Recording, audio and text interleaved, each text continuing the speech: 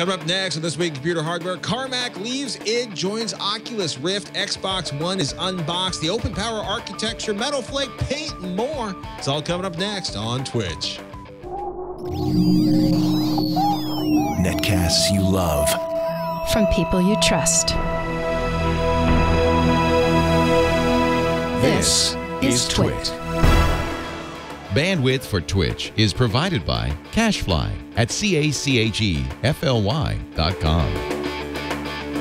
This is Twitch, This Week in Computer Hardware, episode 229, recorded August 8th, 2013. Can Carmack overclock Oculus Rift? This episode of This Week in Computer Hardware is brought to you by Ting.com. Ting is a mobile phone service that makes sense. Save money with Ting. Pay for what you use, doesn't require a contract, and offers unlimited devices on one pooled plan. To save $25 on your first Ting device, visit twitch.ting.com. That's twitch.ting.com. And by ProXPN. ProXPN is a virtual private network that allows you to use the internet the way it should be, anonymous and unfiltered.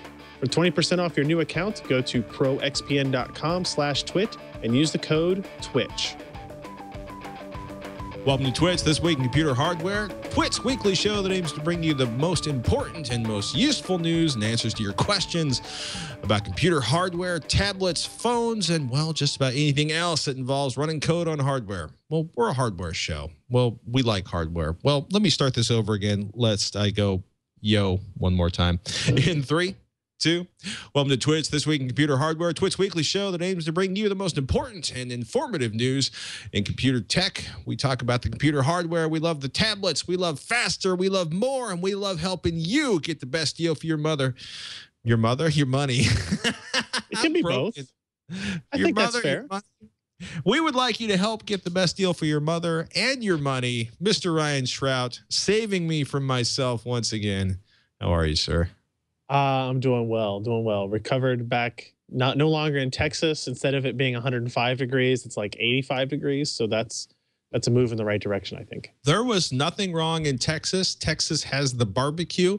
Your issue, the reason your your coat was not as shiny and glossy as usual, was the 15 hour drive back from Texas and getting home at what three in the morning, five in the morning. We we got home at about 3:30. I got to my house at 3:30 a.m. So Wow. yeah, on Monday morning, and then you know I slept until probably about nine ish or something. So I you know I went through a normal day, but glad to be back. It was a fun show. We had a good time. It was uh, the workshop went really well. Um, you know, we had about I think somewhere between 1800 and 1900 people there based on the Nice. the ticket counts and that kind of thing.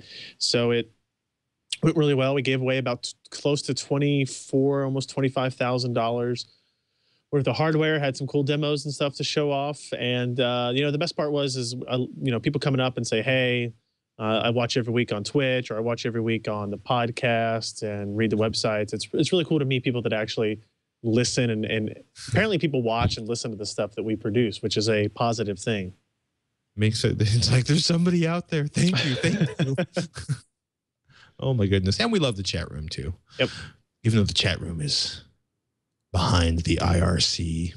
Uh, it's kind of funny. Last week, uh, obviously QuakeCon, big deal. Uh, Carmack had a keynote at Quake, uh, QuakeCon, not a particularly shocking thing. No. And then suddenly, days later, uh, Carmack leaves id Software to become the CTO for Oculus Rift. Uh, and of course, almost at the exact same time, id Software tweets, happy to say at id AA Carmack is not leaving id and will continue to provide leadership for our games and development. Um, but uh, I, I think, as we were discussing earlier, uh, Oculus VR is going to be the primary thing occupying the gigantic and incredibly powerful brain of John Carmack. What's what? What do you think he's going to do? At, So, uh, I mean, if you think about it, uh, a year ago, he was Mm-hmm. kind of really the spark that made Oculus VR take off, right? So the team behind Oc- Oculus VR had done a lot of work themselves, but John had been kind of at the same time trying to figure out head-mounted displays for years and years, and and Mhm. found this team's work and uh, really kind of brought it to light. Uh, John, you know, at the id Software booth at E3, not this past one, but the one previous, Mhm. you know, brought a bunch of media and said, "Hey, look at this cool thing." He had it working with uh, BFG or Doom 3 BFG edition. Uh, we're going to work with it. At the time, they said that when the Kickstarter began, that they were going to include a copy of Doom 3 BFG with it uh, as Right. one of the perks for it. And uh, then he came to QuakeCon and did the same thing. Got up on stage, talked about the VR technology, talked about in particular Oculus and the Rift. Uh, they demoed it, his exact unit at QuakeCon last year. Mhm. So he's always been like a huge proponent of uh, uh, the the you know the the the Oculus team, right? Uh, Palmer, Luckey, and those guys that you know really started it and moved it Right. forward. And you know, I don't think without him, maybe they would have made their goal uh, for the Kickstarter, but I don't think it would have gotten nearly as much media attention as it did without him. So he was kind of instrumental in its success even before taking an official position there. So it's kind of interesting. It's not. It's not. It, it's surprising to me that he would leave id Software, even though people will argue with me then whether or not he actually is leaving. He's obviously going to devote the strong, strong majority of his time to Oculus, followed mm-hmm. by id, followed by his Armadillo space program, right? Armadillo Aerospace that he started years ago as well. And right. well, Arm, or he's he's basically the Armadillo Aerospace is is shut down because he had Right. an amount of money he could spend on that, and he has basically spent it all. Uh, it- it's funny. It, it sounded like you or I might sound about this, you know, talking about like you know our, our weekend habit at the track or the you know the budget for ammunition for you know Palmer rifle shooting, uh, and and for him his his his discretionary you know. Uh, I can piss it away budget was, you know, Alameda, or excuse me, not Alameda Aerospace. That's a former company in Alameda, uh, Armadillo Aerospace. So, Yeah. It was funny So- hearing him talk about this is the amount of money that my wife would let me spend before she said I would turn into the crazy, you know, millionaire that wastes all their money on space programs and stuff like that. So, you know, his his move to to Oculus I think is is interesting in that I think it's going to give that team a huge push forward, right? Since the release of their developer kit, since they actually started getting these in people's hands, it feels like there's been a little bit of a slowdown in the last couple of months over cool demos, you know, PC games that have, you know, hacked in support for the Oculus VR. And he is a software genius. Obviously, he is going to, you know, help build these demonstrations, help get these game engines working with Oculus and, and help get support for them uh, further along. And plus, I mean, he is probably knows everything about everything. So he's going to help with how do we improve latency? How do we improve image quality? How do we improve, you know, people getting motion sickness from these devices? He's gonna he's gonna dive into a lot of those areas. So it was really cool to see it. It's obviously it was a little odd that it happened the day after QuakeCon was over, right? Obviously, this is something that they didn't want to come out while everybody was in Dallas, while everybody was excited, while everybody, you know, was was kind of like, ooh, what's what's id Software going to do next? What what game engine tech is he working on? Um, and uh, it's a little disappointing now if you think about it. He was the last of the original four founders of id Software, Right. and wh- whether or not you say he's gone from id Software or not, there are some John Carmack purists out there that have been arguing with me on Twitter about he's not really gone. Don't you read the internet? It's like, well, yeah, well, Steve Bill Gates is not technically gone from Microsoft, but does he work at Microsoft? No. Um, so well, he's the chairman of the board and attends the board meetings, presumably, and would help set the direction and tone of the organization from that Yeah. position. Uh, but no, he won't fire Steve Ballmer, and Steve Ballmer seems to make all the random decisions that have guided Microsoft as of late. Um, sorry, that Yep. sounded as obnoxious as it did outside my head as it did inside. Um, well, okay, let's let's switch gears for a second, right? So Oculus Rift.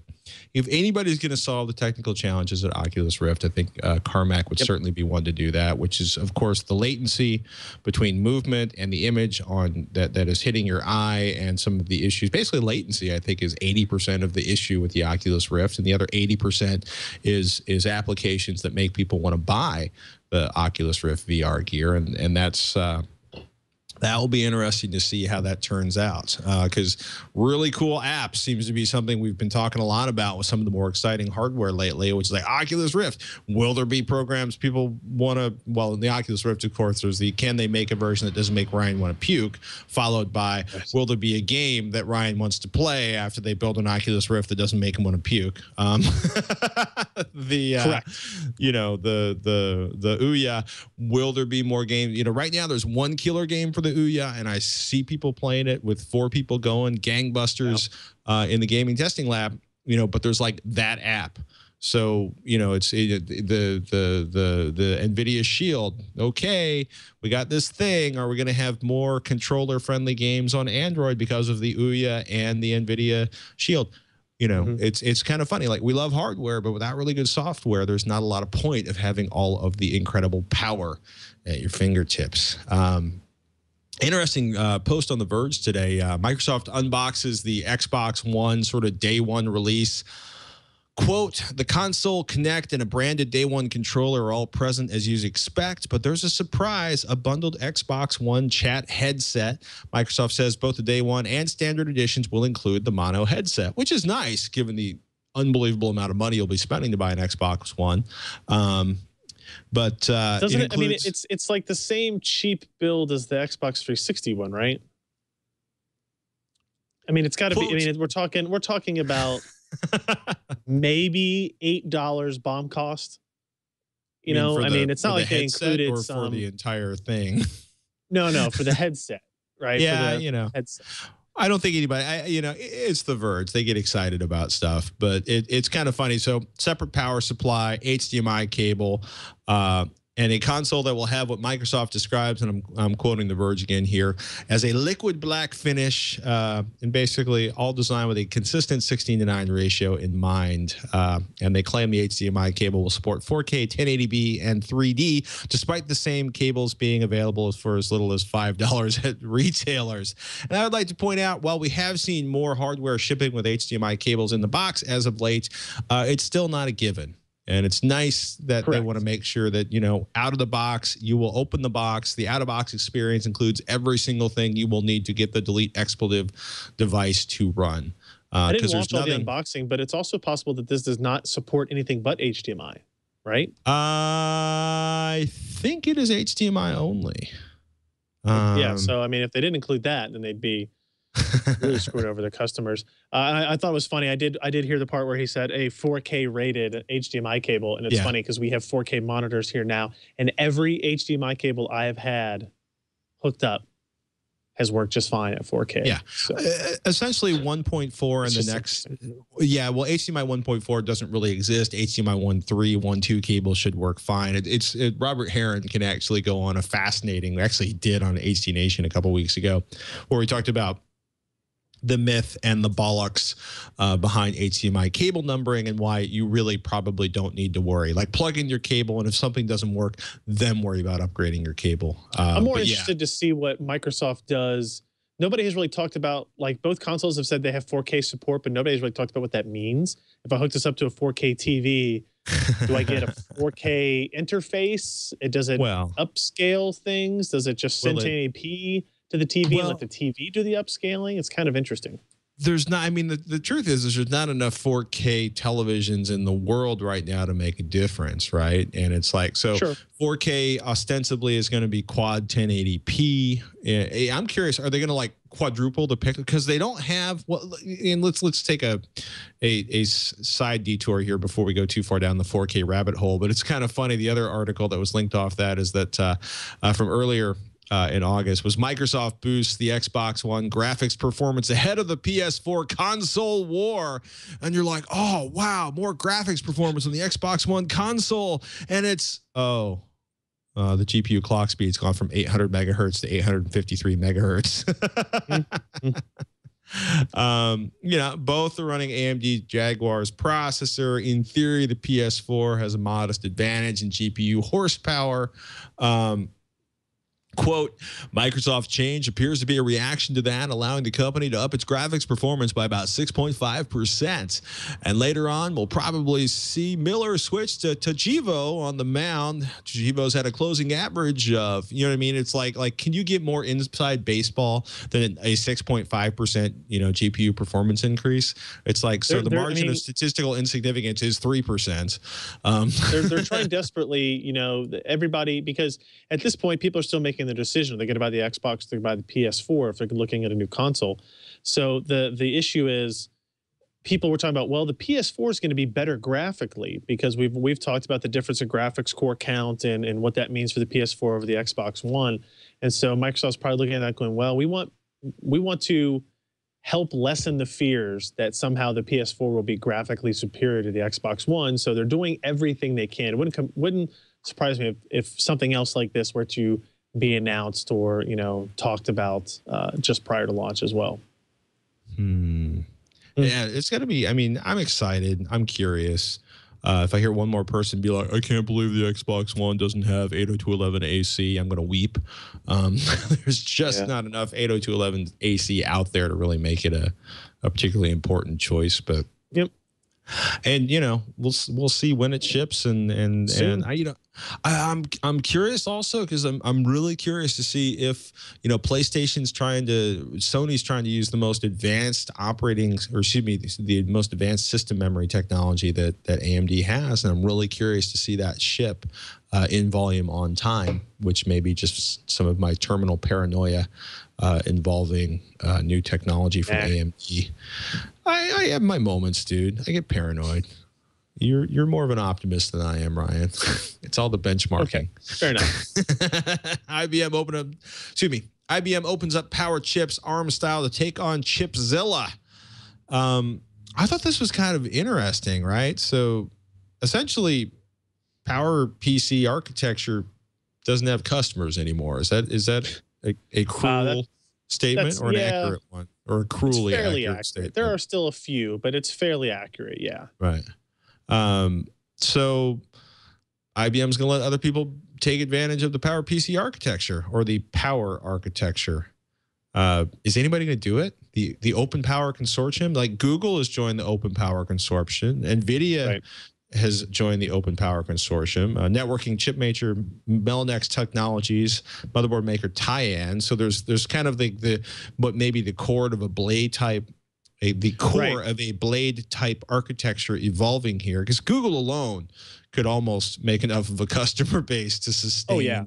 I mean, if Uh, you look at those those four companies, really make Right. up. You take um, the processor from IBM, the GPU from NVIDIA, the networking of Mellanox, and the and the the the company Tyan that will kind of make a board and system out of it, while Google gives them direction on here's what we want and what we need in our in our systems. And I think it makes perfect sense that there, this will be produced. This will be something that is made uh, going forward eh, specifically for Google, but not just them, right? So the idea is that they open up their architecture for licensing in the same way that ARM does, and maybe people can find more unique ways to implement the uh, power architecture design than they can really get into with their current processor models, right? So it's it's really interesting. Um, it's a dramatic shift uh, over what they had done before, and, and I'm really curious to see what this will be in this. It's it's really like an it's an enterprise server market play than anything else, right? They're not trying to get into cell phones with this. It's the architecture's not built for that.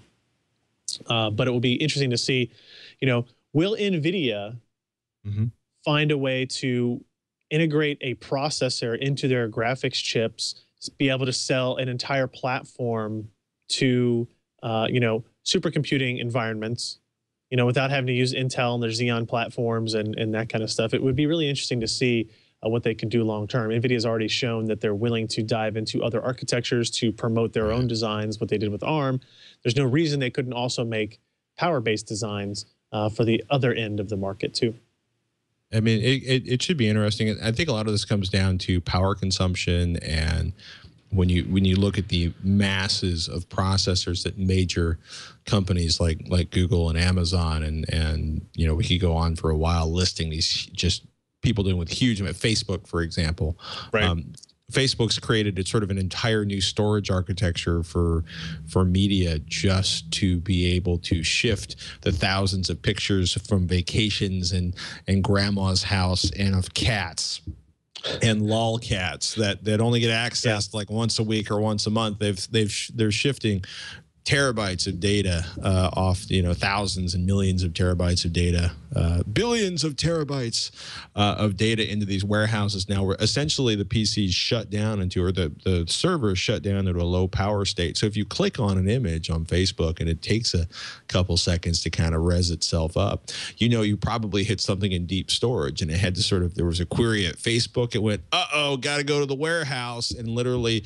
applied a power state to that server, launched it back up, and then it grabbed the photo for you to display on your Facebook page. But it's the only way that companies with these ridiculous, huge, insane storage uh, needs can actually afford to keep the the the light bills paid, the electrical bills paid. It's it's kind of awesome to watch. Uh, uh, there's some, some, more challenges emerge. It'll be interesting to see how that works out. AMD drops the Radeon HD 7990 to $699 and throws in eight free games. Should we all buy one now?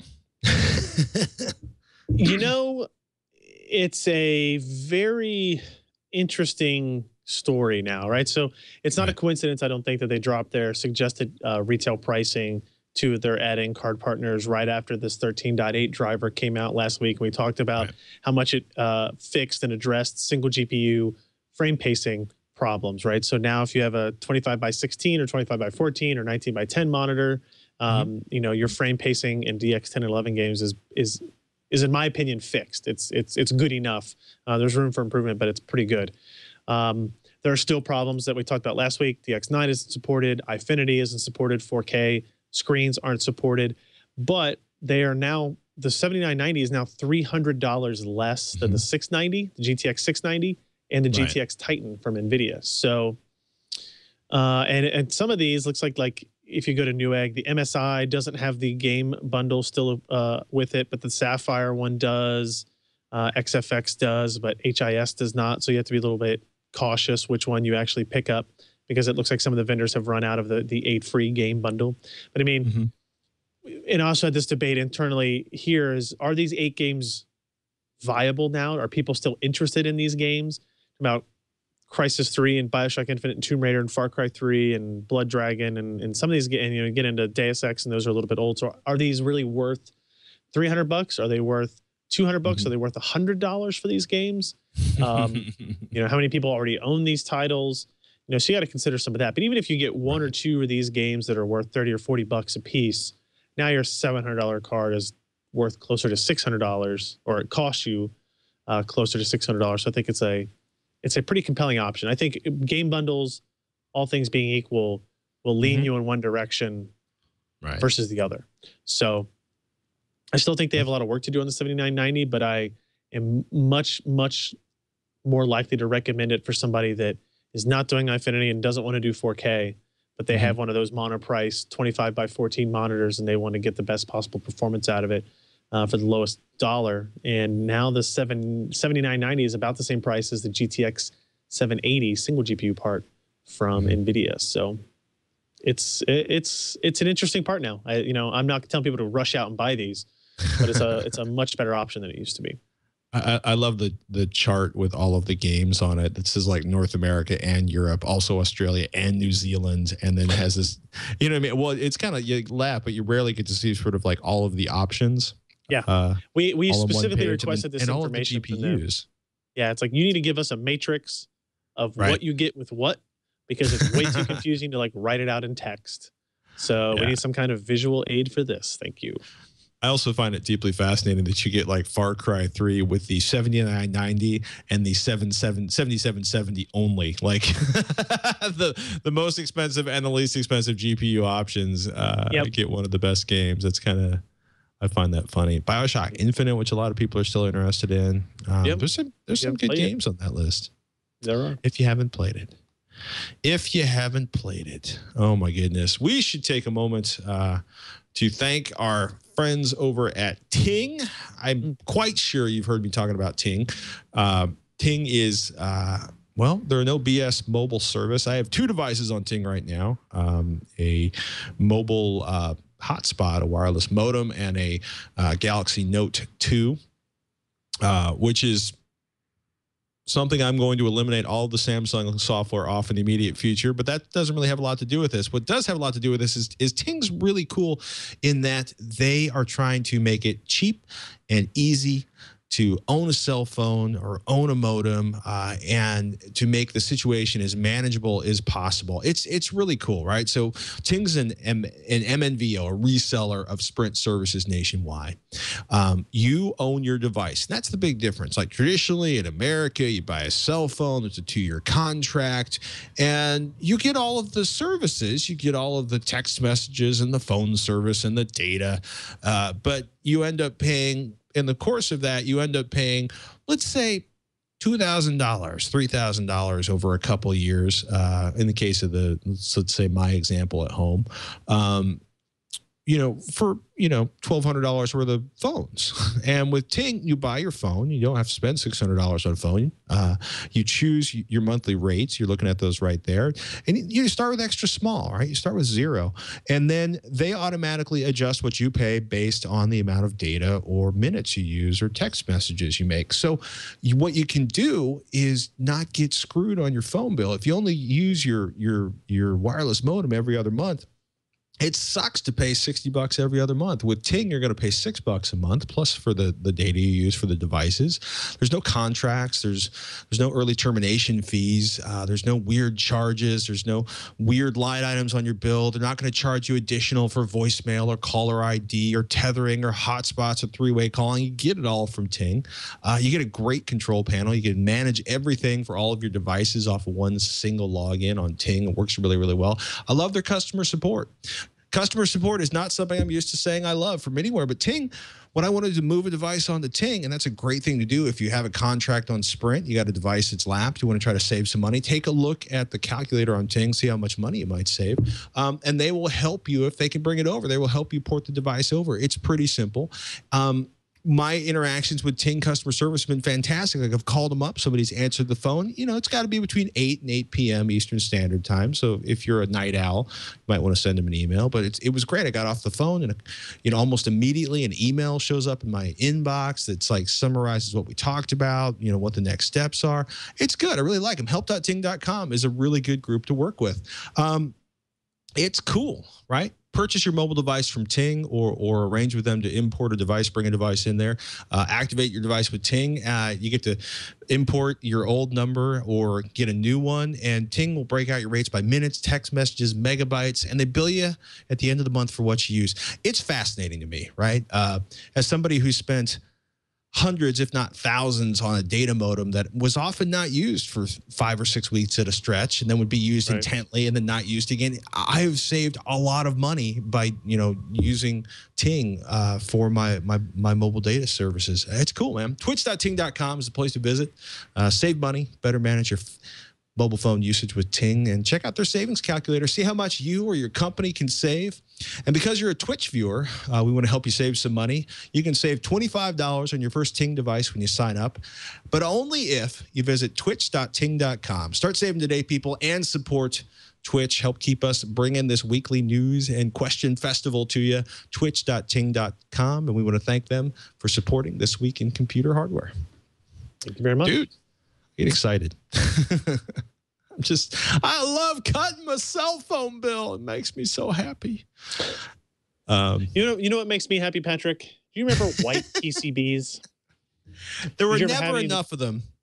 Yes. No, there were I, never. I swear I saw at least one motherboard a thousand years ago.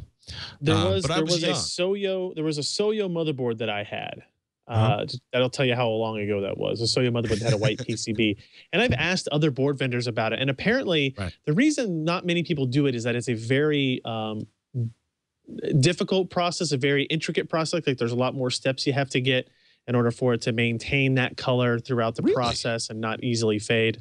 Um, and the reason I bring this up is uh, we I, we posted a story about there's a there's a new Galaxy GeForce GTX 780 card. They call it the Hall of Fame edition, and it's really cool because it's super highly overclocked, but I'm more impressed with that white PCB. It just looks cool.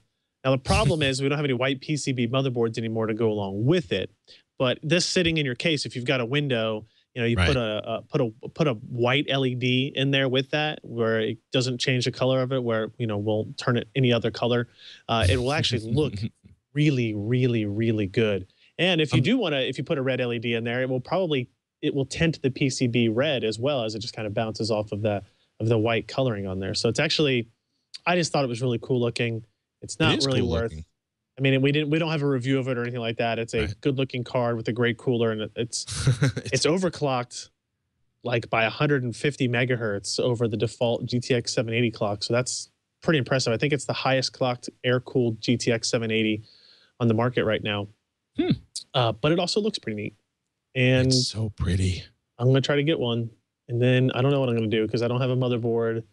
You like we we did a system review today of a of a of a system that came in a white case, and I was thinking this would be perfect in that. You put some white LEDs in it, you get white tubing for water cooling, um, but then you don't have a white motherboard. I don't know what to do about that. So You you build some sort of a lid or a cover or a plate. Um, yeah, okay, I'm with you. That I'm with you. The it, right? Asus the Asus TUF series has that thermal armor on it. Maybe we could paint that white. Oh my goodness! Now I want to go like I, I'm kind of funny. Like now on uh, MNPCTech.com, they have a great Twitter feed uh, that sends Oh. they send out a lot of really cool mods. And now I'm wondering like, do they have anything you could hide your your motherboard behind? Um, Duct tape. They have blue metal flake film, so you can actually put film on your case and make it look like a bass boat. That makes me so happy. And I'm going to change the story lest I sound even less Yeah, sophisticated than I usually do. What? You don't like metal flake bass boat paint colors? Come I- on, man. maybe not. I don't know. You don't even know what I'm Sorry. talking about, do you?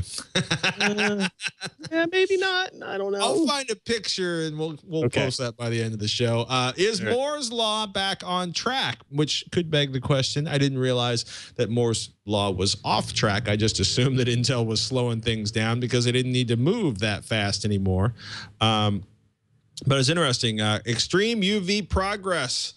Writes ArsTechnica.com. Quote, long awaited improvements in photolithography could pave the way for the continued shrinking and scaling of microprocessors into the second half of this decade and beyond.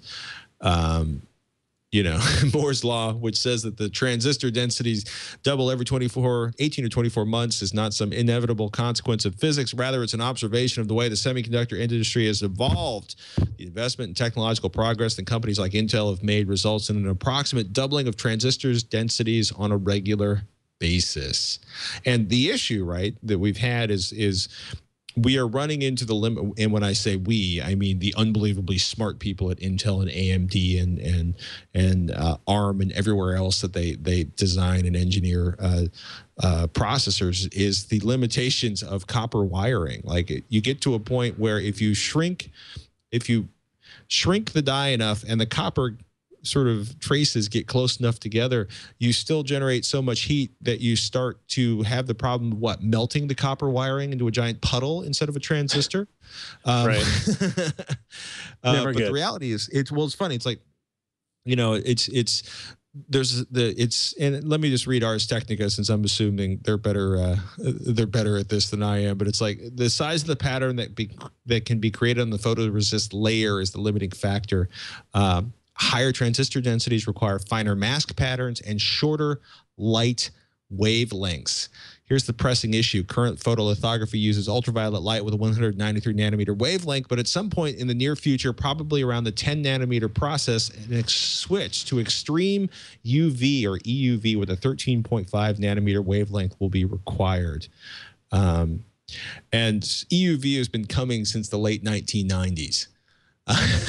so, Nice. uh, you know, it'll be interesting to see if it's actually finally here. I don't know if you, Burke, if you can show that crazy machine they have about halfway, two thirds of the way down the page. Um, but a company called ASML uh, that that provides most of the world's photolithographic equipment says, "quote They could have told Hot Hardware they could have production ready commercial equipment by 2015, suitable for producing chips with 10 nanometer features." Um, making chips is really hard. Like we take it for Mhm. granted, Mhm. uh, but there are very uh, few companies in the world that can do it well and reliably, and that's Yeah. and it's it's kind of a credit to Intel uh, that they've been so good at it for so long without really a whole lot of hiccups in the way, uh, along the way rather, um, to to to be able to produce and, and still stay on on top of things as they are. So it takes a lot of money and investment, a lot of research and and engineering investment. there you have it. It's going to be interesting. And basically, the, the the summary is that if you know EUV lithog- photolithography does not come online in time, Moore's law could be interrupted. So it'll be hmm. interesting to watch that evolve. And and when we say disrupted, it also could mean that simply that we're we may still have power increases. They just may involve dies getting larger again, which would be kind of strange and terrifying. Actually, it wouldn't be strange and terrifying at all. It would just be kind of peculiar. Press releases would start claiming how they have the biggest die size instead of the smallest die size. Because that's the way it works. Happy Yeah. 10th anniversary to my favorite source of teardowns and repair info, ifixit.com. Uh, I know you've heard us mention this answering questions on the phone, and occasionally we've shown teardowns. Uh, they did a big uh, website redesign, but it's the 10th anniversary of this site that, for me, has been the source of keeping iPhones alive. uh, and and Macintosh systems. The article you just said was the the the blog post that celebrates 10 years of iFixit and that particularly raw website they started with uh, helping people repair PowerBook G3s and iBooks and PowerBook G4s. Um, but what's great, if you go to the regular ifixit.com website, um, they sell tools and they give you free repair guides that you can access even if you don't buy your repair parts from iFixit. So Yep. what's been interesting is they've been working really hard. Kyle and the crew have been working really hard over the last couple of years to expand it beyond sort of, you know, iPhones and iPods and Macs uh, uh, to you know, game console repair, phone repair, car repair, plumbing. The idea that they want to enable an entire culture around repairing things and making rather than sort of like throwing it out, installing, uh, you know, starting over with something new. Uh, Macintosh repair is still the strongest. Uh, uh, strongest uh, area there, but uh, there's an amazing amount of phone and game console repair information. Um, it's pretty cool. Uh, they Mhm. without without the iFixit guides, I would probably be several thousand dollars poorer, or I just would be carrying a really jank phone, especially after the terrible baby drool incident with my iPhone 3GS. Always the worst. way to go, iFixit. Way to go, Kyle, and way to go in helping people fix their gear rather than throw it out. I have a question for you, sir. Okay. Have you ever lost your house key? Um, I do not currently have a house key, so I guess that qualifies as a yes. Because your wife doesn't trust you with one, or because your house doesn't lock? So I've I always grew up using the garage door, like the keypad on the on the code on the door. Really? So I never really had a house key. And Uh-huh. uh, when I bought my own house, they gave me keys, and I like never, I just never bothered to put one on my key ring actually, because it's like, well, I can always get in the garage door. Now that has not always been the case. There have been instances where I have needed a key. Uh, say the electric was out, Right. or I locked myself out of the house. That has happened a couple of times. Um, where it would have been nice to have one. Yeah. Can It's something help me? Uh, yes, actually, it can. It's kind of odd. I I am deeply fascinated by this, uh, so I just wanted to share it. But uh, there's a, a startup called KeyMe, and it is the most peculiar thing I think I've ever seen. Uh, while we're talking about these strange mix of software and hardware, pull that back up again, Burke. You basically have the entire thing there. You take a picture of your key. You lay your key down on a sheet of white paper and scroll up a little bit and, and take a look at the app there. Um, and it fundamentally digitizes the information Huh. and you can take it to a locksmith a, a locksmith that supports their service which is probably a very short list right now and they can cut you a key based on the photo you took um, so I'm I'm I'm kind of curious uh, to see how this ends up because it's funny because it, it just thinking in terms of security, it's been a strange week because of DEF CON was a sort of the ultimate expression of fear, doubt, and uncertainty. Uh, you know, because it, it, DEF CON seemed to be all about sort of the giant gaping holes in the Internet of Things, uh, Right. and, and taking over cars. And, and we had a funny email, a couple of emails we were going to talk about on TechZilla on Monday from viewers that were like, well, they had to be inside the car to take over the braking and steering functions of the car. And they had to get in behind the dashboard of the car to do that. And I'm like, yeah. Yeah, you know, and, and wireless networking used to be like two big bricks that were six feet apart. Um, Yep. But technology advances, and it's nice to know the gaping holes in security are there. But it's interesting because we're, we're seeing a lot more stories about things like uh, you know people finding out that they've accidentally exposed the ability to control all of their sort of Insteon, you know, controlled uh, uh, lamps and devices inside of their house. But the idea that you know if somebody can if somebody can hack into your house or if somebody you know if somebody can hack into your house or accidentally take over control of your house imagine coming back from vacation to like a $2000 heat bill because um, somebody Yeah. turned the heat up to you know a thousand degrees but it's interesting watching the security stuff out there and i thought it was kind of fascinating seeing just this strange intercourse between uh, something as mundane as a key uh, the ability to sort of create that. And it's like, will I be able to take any key I take a picture of to any locksmith? So I mean, if I can just get a hold of Ryan's keys for 30 seconds, You can just photocopy it and steal all my stuff. That's the worst. Why would you tell everybody about this? Oh, well, you don't have keys. Oh, we'd have true. to we'd have to get the key code for the garage out of you apparently to steal all of your stuff. And the truth is, all of your really expensive stuff, other than your golf clubs and your Mercedes, are all in the freaking lab at work anyway. but I have keys for that. Now it's even worse. Oh, goodness. jeez. I just I just thought that was fascinating. Uh, I, I, I, it is. stuff. It is pretty cool. It's Um, it's it's kind of like uh, it's it's it is a almost like having one of those uh, uh, 3D printers, kind of right, kind of.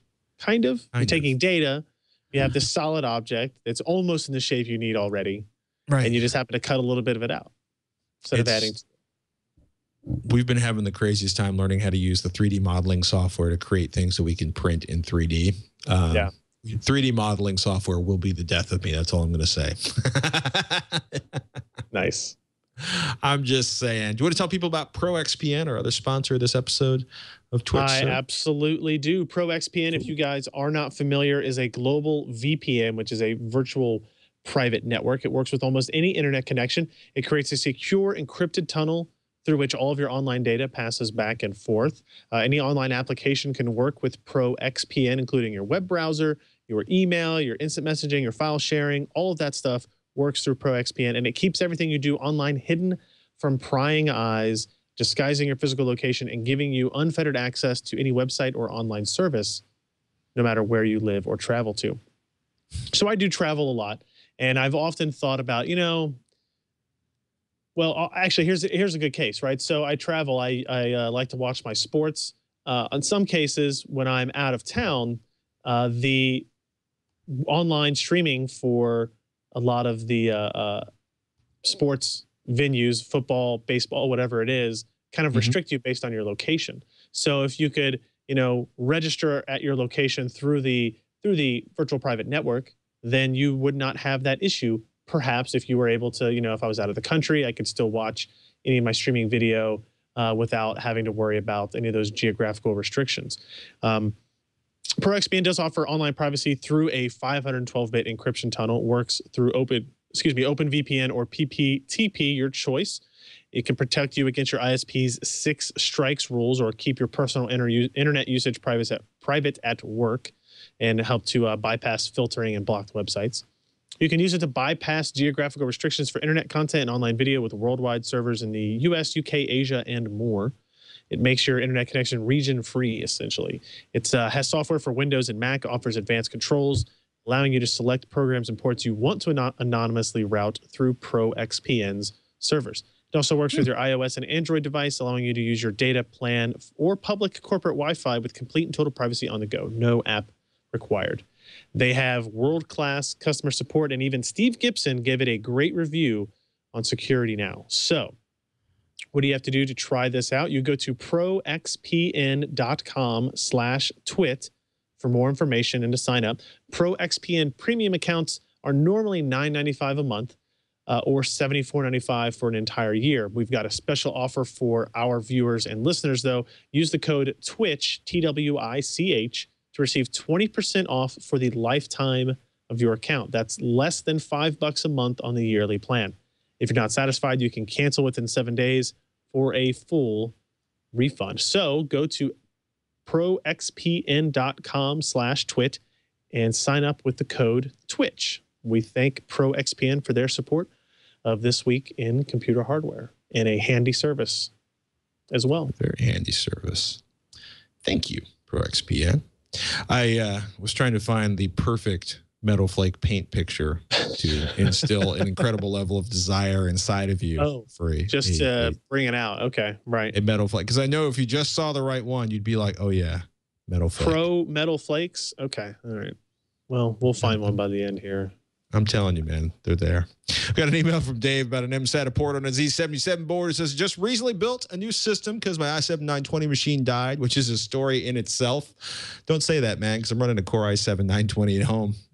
He's got a Gigabyte GA Z77X UD5H motherboard, and Intel i7 3770 CPU with a stock cooler. Temps are running 35 to 40 degrees Celsius normally, not overclocked ever. 32 gigabytes of Kingston Black RAM. Yes, he noticed that Windows 7 uses no page file at all. Not at least I've ever caught it doing so. Two plug-in three and a half inch SATA hard disks on a front panel, boot and data for all sorts of OSs via uh, Antec Easy SATA adapters, Antec 650 watt Earth Watts power supply unit. You need to point out to people that an active PFC PSU needs a true sine wave UPS. Good to know. The motherboard comes with an MSATA connector built in. My question is why? What good is MSATA and why would I want to use it? This motherboard has a UEFI BIOS that can be set for legacy non-UEFI BIOS operation, which I have done. My real problem is that it only allows two choices for boot device, not the usual three. If I have it set for CD-ROM and hard disk, there's no direct way to use a USB stick without jumping on F12, and I only get a few seconds for that. And am I doing something or I have set something wrong? Probably. Um, and that probably was his teasing Dave, teasing himself, not me teasing Dave. So, Dave, awesome email. I am jealous of your performance. Should we start with with why you might want MSATA and if there's any Sure. point to it if you already have uh, a SATA drive? So, uh, why would you want MSATA? Is you know you, you it's just another it's another expansion port, right? So if you have Right. if you buy an MSATA SSD, 120 gig SSD, then you can make that your primary OS partition, and you don't have to worry about having a three and a half or two and a half inch SSD in your system. You don't have to take up a SATA port with it, right? So there Right. there's advantage that way. You could also use that for the Intel SR is it SRT Smart Response Technology, something like Yes.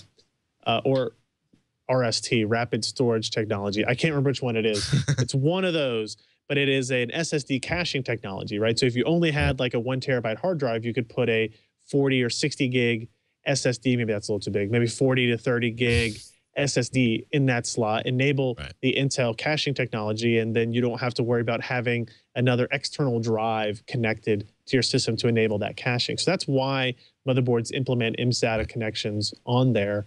Uh, and I, I find it to be kind of useful. Like now, I build systems more often than most, and I use them for less periods of time than most. Right. So it's kind of handy to have an MSATA just plug in there, put the little screw in, uh, hook up a power supply, boom, and I can start installing. Uh, you know, uh, a uh, an operating system. I don't have to worry about connecting Right. a SATA cable or connecting a, a power connection to an external drive as well, which is nice. I mean, it's also it's simply like if you need huge amounts of storage and you don't want to spend the money on an SSD, right? You, you- you get an MSATA drive, which is relatively relatively inexpensive, and then you have your terabytes of storage on the device, and you still get cool guy uh, SSD performance without having to spend all the money on an SSD. Dot dot dot. That argument is becoming less compelling as the cost of SSDs continues to drop. So I wouldn't be surprised if if those uh, ports start to disappear off motherboards in the none too distant future. Uh, note I could be wrong because you know the parts count isn't that huge on motherboards these days. Um, now the question about the UEFI BIOS. Uh, and and wanting to it's kind of funny like i I don't think i've used three boot devices in a couple of years now Uh, Yeah, have at they least. started to I cut don't- that back Um, so he, I think he says the answer to this problem right here. He's, he says is that it only allows two choices for boot device, not the usual three. Uh, I don't, I don't know if that is because you have disabled UEFI as as the primary way of booting.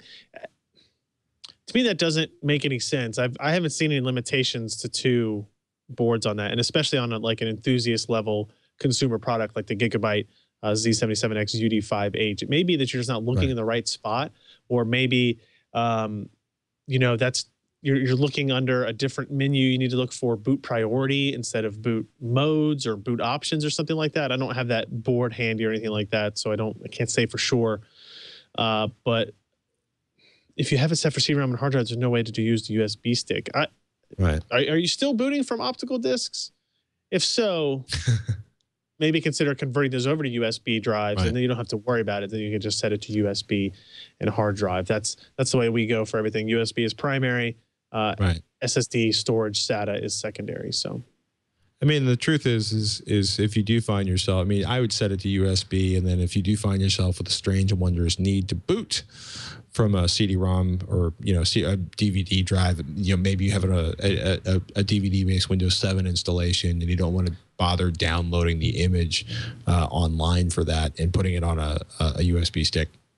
Just hit F12. Worst case, you know, you control alt delete a couple times, so Yeah. you hit F12 in Yeah. that time space. It's just, I think it's just uh, I think it's just one of the weirder, smaller levels of streamlining that's that's showing up in the UEFI BIOSes. Well, they're not BIOSes, but the, We know what you mean. the thing I that, agree. that has replaced the BIOS. Well, the, the the thing formerly known as the BIOS, but right. I don't know. I mean, UEFI is so much easier to use in so many ways. Uh, I can live with not having five boot options anymore. I always, you know, at some point, I think they just started adding more boot options just because they could. We want to give you the option of being able to boot off of any port on the motherboard. Um, Forever and ever. we got an email from the ironically named Kelvin about a beverage fridge. I'm surprised nobody suggested using a beverage fridge as an ancillary device and component box. How about a test to tell us the cumulative wattage capacity and corollary power cost per month for a beverage fridge that can cool a router, switch, NAS, micro PC, etc. If Thunderbolt can run the Express bus externally from a full-size gaming PC, put the high-performance video cards in the fridge as well. A small grommet hole insulated with a shot of foam would handle the I/O, Ethernet, and video cables. No, actually, it won't, and I'll tell you why. the The cooling capacity of your typical dorm fridge is minuscule.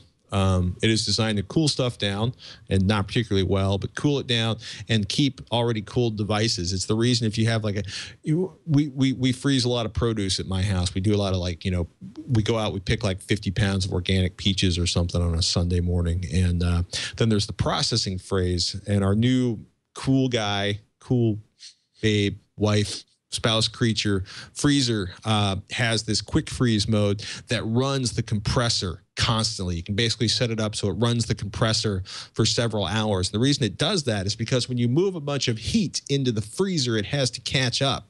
And it can take Right. a really long time. If, if you exceed like you know x number of pounds per square foot of un, like room temperature ambient temperature uh, stuff into the freezer it can be enormously difficult for the freezer to cool that stuff down and it could uh, create issues for the food that was currently frozen and could be formerly frozen if you stuff too much warm stuff inside of your uh, freezer right? So Right. when you have your dorm fridge or your beverage fridge right because your kegerator is essentially a, a slightly larger dorm fridge um, you don't actually have you think like it's cold in there. It's really cold. Well part of the reason it's really cold in there is once it cools everything down there's all this cold mass inside of the refrigerator that keeps everything cold. And if you put uh, you know, because we routed several dozen feet of copper inside of a dorm fridge a few years ago on system. What we found out is there's not enough cooling capacity inside a dorm fridge to keep a delete expletive uh, PC cool uh, PC processor cool. And if you threw the GPUs on top of that and a few hard drives,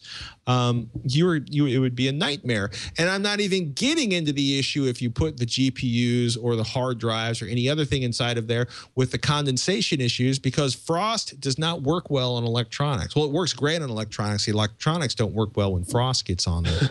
um, condensation, like so, you know, if you seal That's everything not the best. Right. and put yeah. it inside of that because I'm going to say.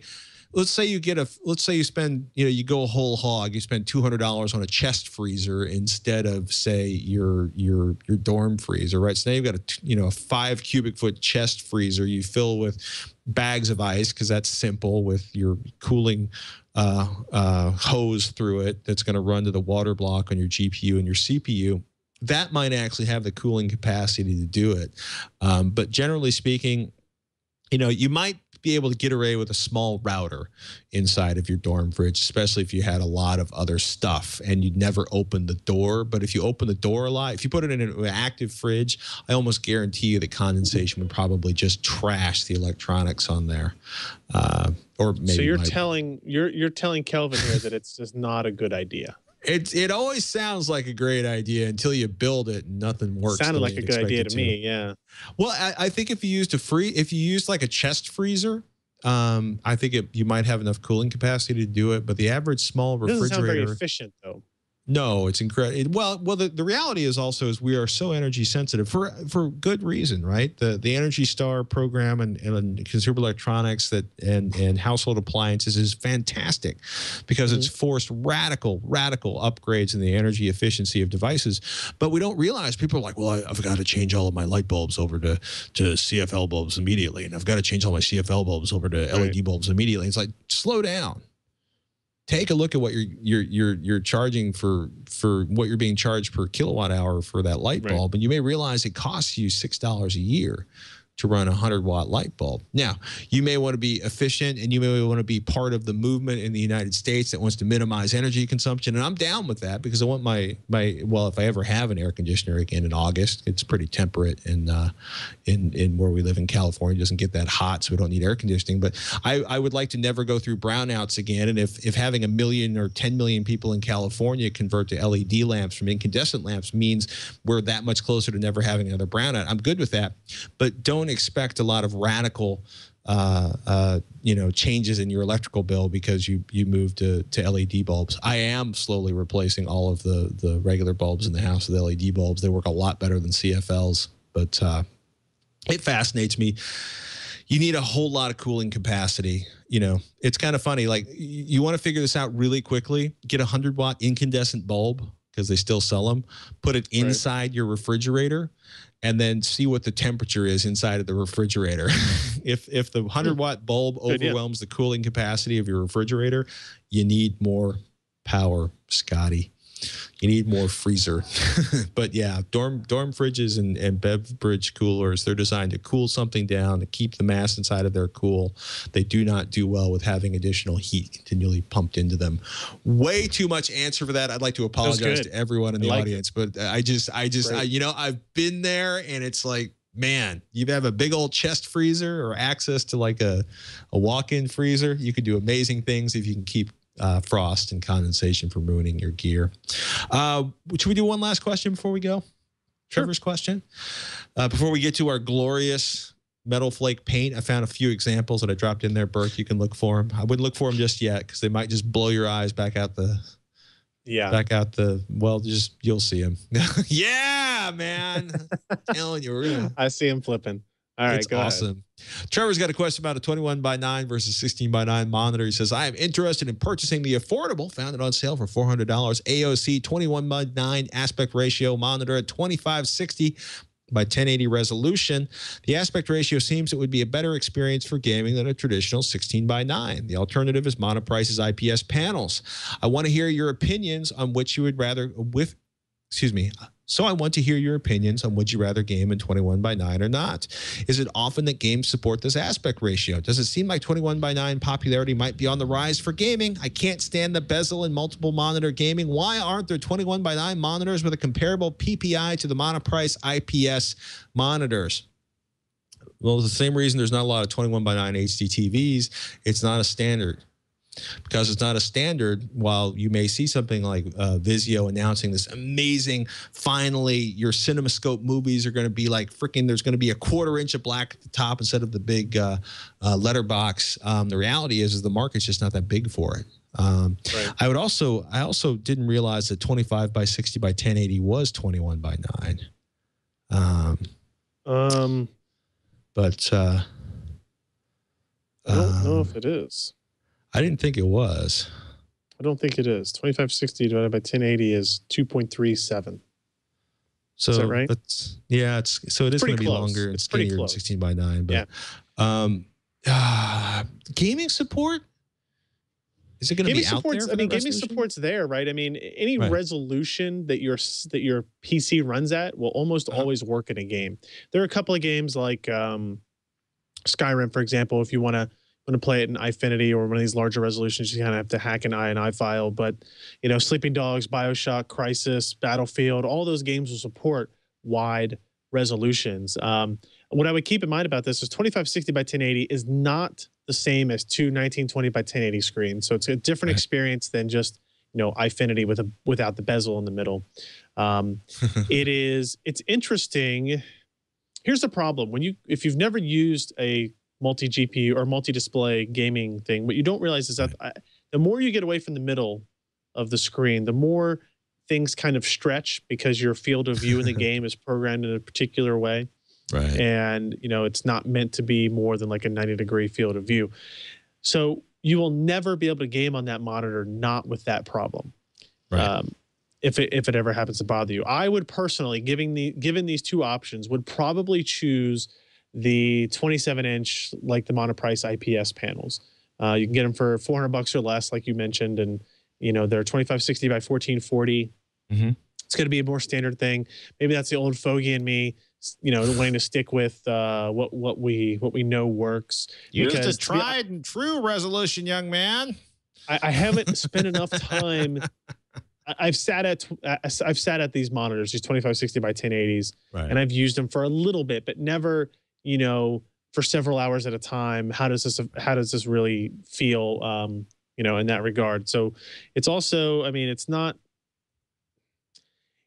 If you go 2560 by 1080 versus 2560 by 1440, you're getting the same amount of width, Right. right, in terms of pixel density.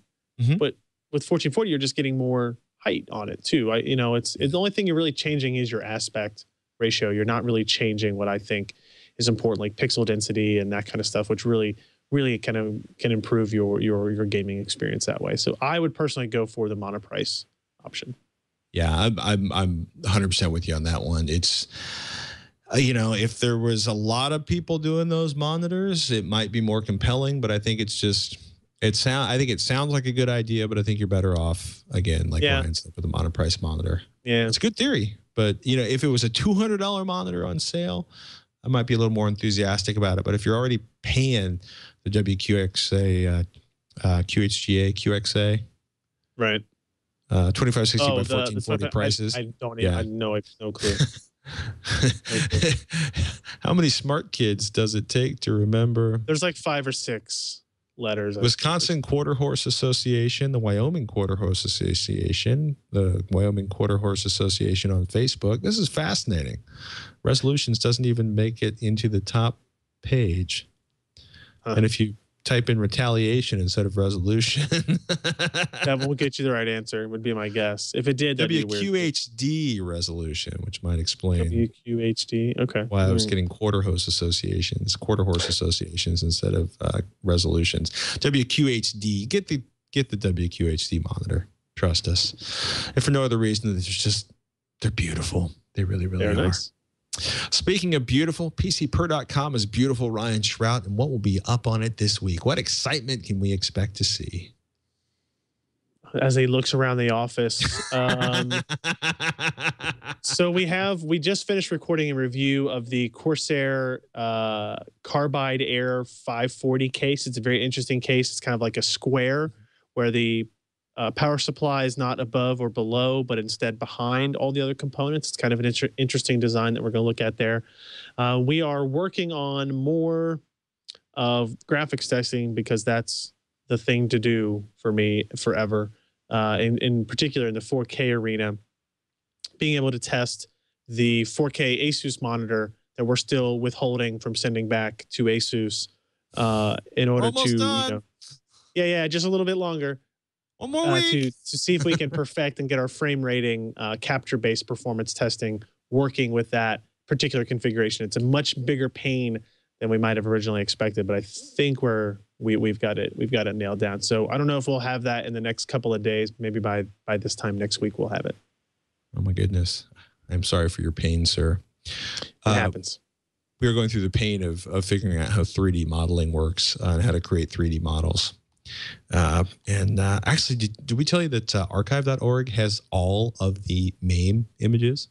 Like all of the MAME files? No, no, that sounds Yeah. pretty sweet. It's pretty Wow. epic. So we downloaded uh, we downloaded gigabytes of.